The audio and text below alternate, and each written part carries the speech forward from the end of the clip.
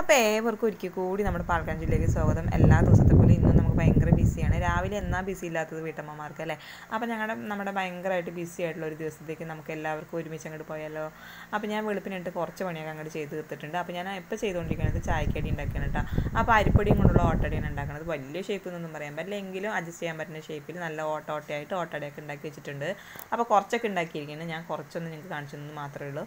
അതിന് ഞാൻ കുക്കറിൽ ഒരു കിഴങ്ങിരിപ്പുണ്ടായിരുന്നു പുള്ളിക്കിഴങ്ങ് അതൊന്ന് ഞാൻ വേവിക്കാനായിട്ട് വെച്ചിരിക്കേണ്ട അരിഞ്ഞിട്ട് അപ്പോഴേക്കും ഞാൻ ഓർത്ത് മുട്ടക്കറി വെക്കാമെന്ന് എഴുതിയിട്ട് അപ്പോൾ സവാളയും എന്താണ് തക്കാളിയും പച്ചമുളകൊക്കെ കൂടിയിട്ട് വാട്ടി തേങ്ങ അരച്ച് ചേർത്ത് അതൊന്ന് തിളച്ച് ഉപ്പൊക്കെ ഇട്ടിട്ട് വന്നപ്പോൾ ഒരു മുട്ടയുള്ളൂ. ആ മുട്ടേനെ ഞാൻ തലയും കുത്തി അങ്ങോട്ട് അതിലോട്ട് ഒഴിച്ച്.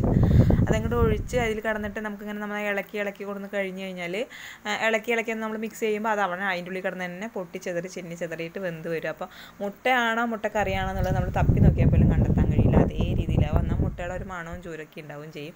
അങ്ങനെ മുട്ടക്കറി ആണല്ലോ കൂട്ടിയിട്ട് അവരത് അങ്ങനെ ബ്രേക്ക്ഫാസ്റ്റ് കഴിക്കുകയും ചെയ്തോളൂ. പിന്നെ ഇന്നാണെങ്കിൽ ചാളയാണ് കിട്ടിയിരിക്കുന്നത് കേട്ടോ. അപ്പോൾ രാവിലെ നേരത്തെ ആയിട്ട് മീൻ മേടിച്ചു കൊണ്ടുവന്നിട്ടുണ്ട്. ചില ദിവസങ്ങൾ നേരത്തെ കിട്ടും ചില ദിവസങ്ങൾ ഇത്തിരി വൈകി കിട്ടും. വൈകി കിട്ടുമ്പോൾ പണി കുറച്ചങ്ങോട്ട് കൂടി വൈകും. നേരത്തെ ആകുമ്പോൾ വേഗം ആകുമല്ലോ എനിക്ക് ഞാനും കുറച്ച് ഹാപ്പി ആവും. അപ്പോൾ മുട്ടക്കറി അങ്ങോട്ട് ഒരു മുട്ടയാണ് തിളപ്പിച്ചെങ്കിൽ ഇപ്പോൾ നമ്മുടെ ബ്രേക്ക്ഫാസ്റ്റിന് ഉണ്ടാവും. പിന്നെ കുഞ്ഞുണ്ണിക്ക് ഉച്ചക്കത്തേക്ക് ചോറിന് കഴിക്കാനും ഉണ്ടാവും കേട്ടോ. അങ്ങനെ മുട്ടക്കറി ഒന്ന് കാലായി വന്നപ്പോഴേക്കും നമ്മുടെ തക്കുടുവിന്റെ ഒരു കരച്ചിൽ കേട്ടു. ഞാൻ ഓടി വന്നപ്പോൾ കരച്ചിലൊക്കെ മാറി അയാൾ വാശിയിൽ ഇങ്ങനെ കിടക്കുകയാണ്. അപ്പോൾ അവൻ എണീറ്റ് വരുമ്പോഴേക്കും നമ്മുടെ ബെഡിന്റെ കോലാണ് അവനാക്കണമെന്നല്ല കേട്ടോ. അപ്പോൾ ആ വിരിപ്പും പുറത്തൊക്കെ ഞാൻ വേഗം എടുത്ത് മടക്കി അവനെ നോക്കി നിന്ന്. അത് കഴിഞ്ഞ് വന്നപ്പോഴേക്കും കുഞ്ഞുണ്ണീന്റെ പൊരിഞ്ഞ പടുത്ത് അവൻ ഇങ്ങനെ ഇടയ്ക്ക് സംശയമൊക്കെ ചോദിക്കുക അപ്പോൾ അവനൊരു സംശയമൊക്കെ പറഞ്ഞു കൊടുത്തിട്ട് നേരെ ചോറ് പാത്തുണ്ടായിരുന്നു ആ ചോറൊന്ന് നിർത്താൻ വേണ്ടി പോയി. അപ്പം നമ്മുടെ കിഴങ്ങ് വെന്ത് വന്നപ്പോൾ ഞാൻ അതൊന്ന് താളിച്ചെടുത്ത് വെച്ചിട്ടുണ്ട്. അതാണ് കേട്ടോ. അവിടെ അതൊന്ന് ചൂട് ഒത്തിരി ഒന്ന് കുറയാൻ വേണ്ടിയിട്ട് തുറന്ന് വെച്ചിരിക്കുകയാണ്. അല്ലെങ്കിൽ ആന അട പോലെ. അപ്പോൾ ഇത് ഇത്തിരി കുറുക്ക് പോലെ കിട്ടാൻ വേണ്ടിയിട്ടേ. ആന അവന്റെ പഠിത്തവും കഴിഞ്ഞ് അവനും ദിലീപേട്ടനും കൂടി നേരെ പ്രാവും ഉള്ളിലോട്ട് കയറിയിട്ട് അവർ അവിടെ മൽപ്പിടുത്തം നടത്തുകയാണ്. മൽപ്പിടുത്തം അവരല്ല പ്രാവുകൾ അങ്ങനെ ചക്രശ്വാസം വലിക്കുകയാണ്. കുറേ നേരം അനമ്പരിഞ്ഞിരിക്കുകയായിരുന്നു. രണ്ട് ഐറ്റങ്ങൾ തീറ്റിനാനും പറക്കാനൊക്കെ കൂടി വെപ്രാളം. പിന്നെ കോഴിക്കുഞ്ഞാണെങ്കിൽ പറന്ന് നടക്കണം. പ്രാവിന്റെ കൂടെ നടന്നിട്ട് കോഴിക്ക് അങ്ങനെ പ്രാവിന്റെ ഒരു സ്വഭാവം കിട്ടിയിരിക്കണം. അപ്പോൾ അതൊക്കെ നോക്കി അവർ നിൽക്കുകയാണ് അപ്പോൾ ഞാൻ അവിടെയൊക്കെ നോക്കി നിന്ന് എന്റെ സമയം കളയാൻ വയ്യ. ഞാൻ ഓടിച്ചങ്ങോട്ട് മുറ്റടിച്ചു വാരി ഇടുന്നു കേട്ടോ അപ്പോൾ ഞാൻ നമ്മുടെ വീട്ടുപണികൾ വേഗം ചെയ്യുന്ന കൂട്ടത്തിൽ പറഞ്ഞായിരുന്നു. നമ്മൾ മുറ്റം വേഗം അടിച്ചു തീർക്കണമെങ്കിൽ വേഗം അടിച്ചു തീർക്കാം മെല്ലെ പോട്ടെ എന്ന് പറഞ്ഞു വെച്ചാൽ മെല്ലെ പോവുള്ളൂ. അപ്പോൾ അങ്ങനെയൊക്കെ നോക്കിയിട്ട് വേഗം അടിച്ചു തീർക്കണം. അപ്പോൾ രണ്ട് മൂന്ന് ദിവസമായിട്ട് ചവറ് കത്തിച്ചിട്ടില്ല. അപ്പോൾ അതിന്ന് ചവറും കത്തിക്കണം. അപ്പോൾ അടിച്ചു വാരിയതും പിന്നെ രണ്ട് ദിവസത്തെ ചവറും കൂടിയിട്ടൊക്കെ വാഴയുടെ ചോട്ടിലുണ്ടാകും അതൊക്കെ കണാ കൊണാന്നൊക്കെ പറഞ്ഞ് വാരിയും കോരിയും കൊണ്ടുവന്നിട്ട് കൂട്ടി വെച്ചിട്ട് ഒരു പേപ്പർ ഇട്ടിട്ടാണ് ഒറ്റ കത്തിച്ചു. അല്ലാണ്ട് നമ്മൾ ചവർ ഒരു ഭാഗത്ത് തന്നെ ഇട്ടിട്ട് കൂട്ടി കൂട്ടി വെക്കണം. അതിന്റെ മുകളിൽ തന്നെ വീണ്ടും കൊണ്ട് കൂട്ടിയിട്ട് കത്തിക്കുകയാണെങ്കിൽ കത്തില്ല കേട്ടോ. കാരണം എന്താ വെച്ചാൽ മണ്ണ് പരളു അത് മണ്ണ് പരളുമ്പോൾ എന്തേ ചവർ കത്താനായിട്ട് മടി കാണിക്കും കേട്ടോ. അങ്ങനെ ചവറും കത്തിച്ച് അവിടെ നമ്മൾ നോക്കിക്കേണ്ട ആവശ്യമൊന്നുമില്ലല്ലോ. അവിടെ നിന്ന് കത്തി തീർന്നോളും. പിന്നെ ആളി കത്തത്തില്ല തന്നെ രാവിലെ അല്ലേ അങ്ങനെ ചവറ് കത്തിച്ച് വന്നപ്പോഴേക്കും ഞാൻ മീൻ നന്നാക്കിയിട്ടുണ്ടായിരുന്നു ഞാൻ നിങ്ങളോട് പറഞ്ഞിട്ടുണ്ടായിരുന്നില്ലേ? ചാളയാണ് അത് കറി വെക്കാനുള്ള താളിപ്പിനുള്ള പരിപാടിയൊക്കെയാണ് നോക്കുന്നത് അത് വേഗം താളിപ്പ് കിട്ടുമല്ലോ. അപ്പോൾ വേഗം ഒന്ന് താളിക്കാൻ വേണ്ടിയിട്ട് ഞാനപ്പോൾ എന്ത് ചെയ്തു? ഇന്നും നമ്മുടെ സാധാ വാളംപുളി ഇട്ടിട്ടാണ്ട മത്തിക്കറി വെക്കണേ. ഇവിടെയുള്ള ആളുകൾ തന്നെ കളിയാക്കും. വാളംപുളി ഇട്ടിട്ടുള്ളൂ മത്തിക്കറി വെക്കണമെന്ന്. പക്ഷേ എനിക്ക് വാളംപുളി ഇട്ട് മത്തിക്കറി വെക്കാൻ നല്ല രസമാണ്. ഒരു നുള്ളു തേങ്ങ അരച്ച് ചേർത്തിട്ട് വാളംപുളി ഇട്ട് മത്തിക്കറി വെച്ചാലും മുളക് കറി വെച്ചാലും അടിപൊളി ടേസ്റ്റാണ് കേട്ടോ കുടംപുളി ഇട്ട് വെക്കണത് എനിക്ക് ഇഷ്ടമൊക്കെ തന്നെയാണ്. പക്ഷേ കുടംപുളി ഇട്ട് വെക്കണ അത്ര വലിയ ഇഷ്ടം എന്ന് വെച്ച് കഴിഞ്ഞാൽ തേങ്ങ പാലിൽ കുടംപുളി ഇട്ട് കറി വെക്കണതാണ് എനിക്ക് കൂടുതൽ ഇഷ്ടം. അപ്പോൾ ഇങ്ങനെ ഞാൻ ഇന്നിപ്പോൾ ഇങ്ങനെയാണ് മത്തിക്കറി വെക്കണത്. എങ്ങനെയെങ്കിലൊക്കെ വെച്ചിട്ട് അവർക്ക് കൊടുത്താൽ മതിയല്ലോ. ആവശ്യത്തിന് ടേസ്റ്റ് ഉണ്ടാവണമെന്നല്ലേ ഉള്ളൂ എന്ന് ഞാൻ പുളിയൊക്കെ പിഞ്ഞ് കൂടി ഒഴിച്ചിട്ടുണ്ട്. ഇനി ഒന്ന് മൂടി വെച്ചിട്ട് അതൊന്ന് തിളച്ച് വരുമ്പോൾ അതിൽ ഇത്തിരി ഉപ്പിട്ടിട്ട് പിന്നെ പുളി മീനും ഇട്ടിട്ട് പിന്നെ ഒരു ദിവസം കൂടി ഒന്ന് തിളച്ച് വരുമ്പോൾ ഇത്തിരി അരപ്പും കൂടി തട്ടിട്ട് വീണ്ടും ഒന്ന് കുറുക്കി എടുക്കണതാണ് മീൻ കറി. അപ്പോൾ ഇത് പ്രത്യേകിച്ചൊന്നും കാണിക്കാനില്ലല്ലോ. അതങ്ങനെ ഇരിക്കട്ടെ. അപ്പോൾ ഞാൻ അതങ്ങോട്ട് മാറ്റി വെച്ചിട്ടുണ്ട്. അത് കഴിഞ്ഞപ്പോൾ ദേ കണ്ടില്ലേ നമ്മൾ ഇന്നലെ വൈകുന്നേരം ഞാൻ രണ്ട് കഷ്ണം മാങ്ങ അഞ്ചിന്റെ കഷ്ണം ഇരിപ്പുണ്ടായിരുന്നു വീട്ടിൽ നിന്ന് കൊണ്ടുവന്നായിരുന്നില്ല. അമ്മ തന്നത് അത് കുഞ്ഞു കുഞ്ഞു കഷ്ണങ്ങളാക്കി അരിഞ്ഞ് ഉപ്പ് പുരട്ടി വെച്ചിട്ടുണ്ടായിരുന്നു. അത് വെറുതെ ഒന്ന് കായപ്പൊടി മുളക് പൊടി മഞ്ഞപ്പൊടിയും ഒക്കെ കൂടി ചേർത്ത് ഒന്ന് താളിച്ചെടുത്തിട്ടുണ്ട്. അങ്ങനെ വെറുതെ തിന്നാൻ എനിക്ക് ഭയങ്കര ഇഷ്ടമാണ് മാങ്ങഞ്ചി അച്ചാർ അങ്ങനെ മീൻ കറി റെഡി ആയിട്ടുണ്ട് അപ്പോൾ അതൊക്കെ അങ്ങോട്ട് മാറ്റി വെച്ചിട്ടുണ്ട്. പിന്നെ നമ്മുടെ അടുക്കളയിൽ അൽസ ഉത്സവമൊക്കെ പണി കഴിഞ്ഞിട്ട് സ്ലാബിലൊക്കെ ആകെ വെള്ളമായിരിക്കും കേട്ടോ അപ്പോൾ ആ വെള്ളമൊക്കെ ഒന്ന് തുടച്ചെടുക്കണം. ആകെ മൊത്തം ഒന്ന് അടിച്ച് തുടക്കണം. അതിങ്ങോട്ട് വന്നപ്പോഴേക്കും നമ്മുടെ തക്കൂട് ഒരുവിധം ആക്കി വെച്ചേക്കണം അകമൊക്കെ അപ്പോൾ പിന്നെ എന്താണെന്ന് വെച്ച് കഴിഞ്ഞാൽ കുഞ്ഞ് ജനിച്ചപ്പോൾ ഞാൻ വിചാരിച്ചു ഇവൻ കടന്നുകൊണ്ട് നമുക്കൊന്നും പണി ചെയ്യാൻ പറ്റില്ല. അവനൊന്ന് നടന്നിരുന്നെങ്കിൽ എന്ന് നടന്നു കഴിഞ്ഞപ്പോൾ ഉണ്ടപ്പോൾ അവന്റെ പുറകെ ഓടി ഓടി എന്റെ നടു ഓടിയാൻ തുടങ്ങി എന്നാലും പോട്ടെ കുട്ടിക്ക് കൈയും കാലും ശേഷി കുറവൊന്നും ഇല്ലാണ്ട് കുട്ടികൾ നല്ലപോലെ വളരട്ടെ എന്നല്ലേ ആഗ്രഹിക്കുക. അപ്പോൾ അവന്റെ പുറകെ നടന്ന് നടന്ന് നമ്മുടെ നടു ഓടിക്കുമെന്ന് ചുരുക്കത്തിൽ പറഞ്ഞാൽ അമ്മൂമ്മ അപ്പൂപ്പനൊക്കെ ഉണ്ടെങ്കിൽ അവർ നടന്നോളുമല്ലോ. അപ്പം നമുക്ക് വലിയ ഭാരമില്ല. ഇതിപ്പോൾ നമ്മൾ തന്നെ നടക്കണം?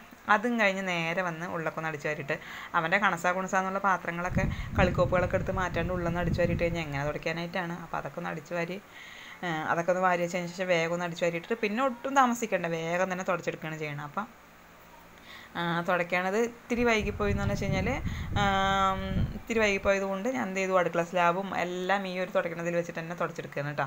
അപ്പോൾ ആദ്യം ഡൈനിങ് ടേബിൾ തുടയ്ക്കും പിന്നെ അടുക്കള സ്ലാബൊക്കെ ഒന്ന് തുടച്ചെടുക്കും പിന്നെ അകമൊക്കെ ഒന്ന് തുടച്ചെടുക്കുക ഒക്കെ ക്ലീനിങ് സൊല്യൂഷൻ ഒഴിച്ചിട്ടാണല്ലോ. അപ്പോൾ എല്ലാവരും നന്നായിട്ടൊന്ന് ക്ലീൻ ആയി കിട്ടുകയും ചെയ്യും. അപ്പോൾ ഒട്ടും തന്നെ മടിയില്ലാണ്ട് വേഗത്തിൽ തന്നെ നമുക്ക് തുടച്ചും തീർക്കാൻ പറ്റും. മെല്ലെ പോട്ടെ എന്ന് പറഞ്ഞു കഴിഞ്ഞാൽ തുടയും. നമ്മൾ അതേപോലെ മെല്ലെ ആയി കേട്ടോ. അപ്പോൾ തുടയ്ക്കൽ അടിക്കൽ അതൊക്കെ നമുക്ക് വേഗത്തിലാക്കാൻ പറ്റും. അലക്കലൊക്കെ. ബാക്കിയുള്ള ജോലികൾക്ക് ഇത്തിരി സാവകാശം നമുക്ക് ആവശ്യമുണ്ടല്ലോ. അതുകൊണ്ടാണ് അങ്ങനെ പറഞ്ഞത്. പിന്നെ ഓരോരുത്തരുടെ മൈൻഡ് എങ്ങനെയാണ് ഓരോരുത്തരുടെ രീതി എങ്ങനെയാണ് അതിനനുസരിച്ചൊക്കെ കുറച്ചൊക്കെ വ്യത്യാസം വരും കുറച്ച് ടൈമിങ്ങിലൊക്കെ വ്യത്യാസം വരും. അങ്ങനെ നമ്മുടെ അടുക്കളയൊക്കെ ക്ലീനാക്കി ഒരു എട്ടര ഒമ്പത് മണിയാകുമ്പോഴിട്ടില്ല ഒമ്പത് മണി ആയിട്ടില്ല എട്ടര എട്ടര എട്ടേ മുക്കാലൊക്കെ ആവണുള്ളൂ. അപ്പോഴേക്കും നമ്മുടെ അടുക്കള പണിയൊക്കെ കഴിഞ്ഞ് ദിലീപേട്ടന് കുടിക്കാനുള്ള വെള്ളമൊക്കെ ഒന്ന് ആക്കി വെച്ചിട്ടുണ്ട്. അത് കഴിഞ്ഞിട്ട് ഞാൻ എന്റെ കുളിയൊക്കെ കഴിഞ്ഞ് വന്നിട്ടുണ്ടായിരുന്നു. അപ്പോൾ ഞാൻ എന്ത് ചെയ്തു? ഇവരൊക്കെ ചായ കുടിച്ച് കഴിഞ്ഞിട്ടുള്ള പാത്രം സിങ്കിലുണ്ടായിരുന്നു ഇന്നിപ്പോൾ പ്രത്യേകിച്ച് എന്താണെന്ന് വെച്ചപ്പോൾ രണ്ട് മൂന്ന് ദിവസമായിട്ട് വീണ്ടും ഞാൻ പഴയ പരിപാടി തന്നെ തുടങ്ങി. രാവിലെയൊക്കെ കുക്കിംഗ് ചെയ്യുന്ന സമയത്ത് ഓരോ പാത്രം ബാക്കി വരുമ്പോൾ അപ്പം തന്നെ അതെടുത്ത് കഴുകി വയ്ക്കും അതുകൊണ്ട് നോക്കിയതേ ഇപ്പോൾ ഈ പാത്രം അവർ കഴിച്ചതും അവർ കഴിക്കാനെടുത്ത കിണ്ണങ്ങളും ചായ കുടിച്ച പാത്രം അവർ കറി എടുത്ത പാത്രം ഒഴുകുക ബാക്കി ഒന്നുമില്ല അല്ലാണ്ടൊക്കെ കൂടി കൂട്ടി വയ്ക്കുമ്പോൾ ഒരുമിച്ച് അങ്ങോട്ട് രാവിലെ തന്നെ കഴുകാൻ നിൽക്കണം അപ്പോൾ ഇതെന്ത് നീണ്ടെന്ന് വെച്ച് ഞാൻ പണ്ട് ഞാൻ എപ്പോഴും ചെയ്തിരുന്നതെന്ന് വെച്ച് കഴിഞ്ഞാൽ പണ്ട് തന്നെ കുറച്ച് ദിവസം മുമ്പൊക്കെ ചെയ്തിരുന്നത് ഓരോന്നും കഴുകാനുള്ള അപ്പോൾ നമ്മളിപ്പോൾ കറിക്കരിഞ്ഞ് കഴിഞ്ഞാൽ അത് അപ്പം തന്നെ ഒന്ന് വേവിക്കാൻ വെച്ച് കഴിഞ്ഞാൽ അപ്പം തന്നെ അതൊന്ന് വെറുതെ ഒന്ന് വയ്ക്കുക അപ്പോൾ അങ്ങനെ ഒലമ്പൽ നടങ്ങി നടന്ന് തുടങ്ങിയപ്പോൾ എന്തായെന്ന് അറിയാമോ പണിഭാരം കുറച്ച് കുറയുന്ന പോലെ തോന്നും. അങ്ങനെയുള്ളപ്പോൾ ഒരു കാര്യം പ്രത്യേകിച്ച് നമ്മൾ ശ്രദ്ധിക്കണം. കാരണം എന്താ വെച്ച് കഴിഞ്ഞാൽ ഒരു കൈ തുടയ്ക്കാൻ വേണ്ടിയിട്ട് ഒരു തുണി പ്രത്യേകിച്ച് നമ്മൾ കരുതി വെച്ചോളണം. അപ്പോൾ സിങ്കൊക്കെ ജസ്റ്റ് ഒന്ന് വെറുതെ ഒന്ന് കഴുകി രാവിലെ തുടങ്ങി പാത്രം കഴുകണമല്ലോ ഇടയ്ക്കിടയ്ക്കൊക്കെ. അപ്പോൾ ഒന്ന് സിങ്ക് കഴുകാന്നില്ല ഓരോ പാത്രങ്ങളൊക്കെ ആയിരുന്നില്ലേ? ഇപ്പം ഞാൻ വെറുതെ ഒന്ന് സിങ്ക് കഴുകിയിട്ടുള്ളൂ കേട്ടോ. എന്ന് വെച്ചാൽ അധികം മുഷിഞ്ഞില്ല. പാത്രം ഇതിൽ കടന്നില്ലല്ലോ. അപ്പോൾ അതും കഴിഞ്ഞ് കൈയൊക്കെ ഒന്ന് കഴുകിയിട്ട് സിങ്കിന്റെ പുറത്തൊക്കെ വെള്ളം പോകില്ല അത് ഞാൻ ഒരു ഉണങ്ങിയ തുണി കൊണ്ട് തുടച്ച് വെക്കുന്നുണ്ട്. അതിപ്പോൾ ഞാൻ നിങ്ങൾക്ക് കാണിച്ചിട്ടുണ്ട് എല്ലാ വീഡിയോയിലും ഇങ്ങനെ കാണിക്കണില്ല എന്ന് എഴുതിയിട്ട് കാണിക്കാത്ത കേട്ടോ. അപ്പോൾ അതൊക്കെ ഒന്ന് തുടച്ച് വെച്ചു.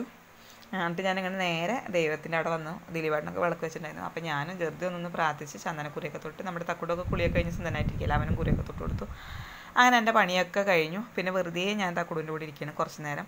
അപ്പം ഞാൻ എന്ത് എന്റെ ഒരു ഹോബിയാണ് കുറച്ച് നേരം ഹിന്ദി പാട്ടോ തമിഴ് പാട്ടോ മെലഡി ഏതെങ്കിലുമൊക്കെ കേട്ടുകൊണ്ടിരിക്കുക. എനിക്ക് തമിഴ് തമിഴും ഇഷ്ടമാണ് ഹിന്ദി ഇഷ്ടമാണ്. അപ്പോൾ ഹിന്ദിയിൽ സുനിൽ ഷെട്ടി അതേപോലെ ഋതിക് റോഷൻ ഷാഹിദ് കപൂർ അങ്ങനെയൊക്കെയുള്ളവന്റെ പാട്ടുകളൊക്കെ കേൾക്കാൻ ഭയങ്കര ഇഷ്ടമാണ് അപ്പോൾ അങ്ങനെയുള്ള പാട്ടും കേട്ടുകൊണ്ട് ഞാൻ തക്കുടും കൂടി ഇരിക്കണം. തക്കുടിനെ അതേപോലെ തന്നെ പാട്ട് കേൾക്കാൻ ഭയങ്കര ഇഷ്ടം കേട്ടോ അപ്പോൾ ഞങ്ങൾ രണ്ടുപേരും കൂടി ഇങ്ങനെ ഇരിക്കുകയാണ്. പിന്നെ ഇങ്ങനെ കുറേ നേരം ഞാൻ അവന്റെ കൂടെയാണ് ചിലവഴിക്കുക.